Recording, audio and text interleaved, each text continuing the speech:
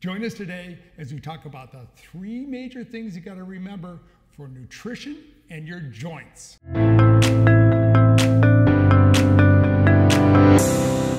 Okay, so when you were young, you had a head nutritionist. That was your mom or your grandmother because your mother or your grandmother was the last word in nutrition, and they were usually right. Well, I'm going to make it really simple for you right now because if your mother or your grandmother were here today and they looked at all the different nutritional gurus out there, they'd probably laugh. And it's so confusing.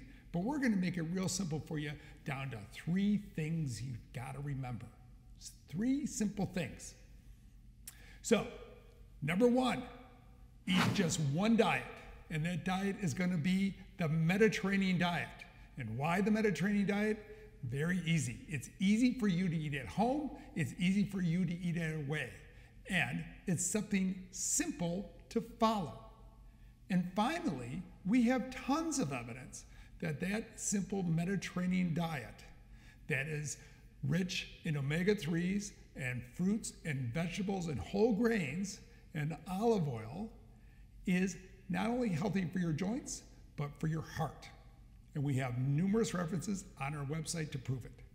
Number two, we want you to take two tablets of nitric oxide per day. Why nitric oxide? Because nitric oxide is probably the most important ingredient in almost all of our biochemical pathways, including the stem cell pathway.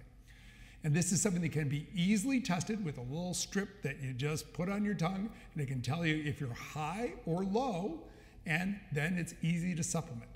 And it has significant evidence that this can help with certain chronic diseases like hypertension, erectile dysfunction, dementia, and make your stem cells more proliferative.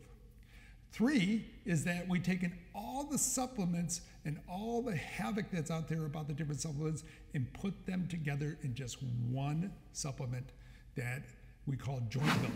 And there's three things there together. That's interesting. And you have glucosamine sulfate, boswellia, which is actually frankincense, and MSM. So those three together actually work synergistically, and they have double-blinded placebo-controlled studies that they actually help your joints. So it's easy as one, two, three.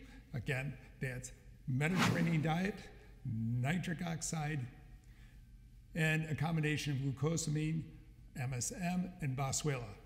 Remember, these are your cells for your healing.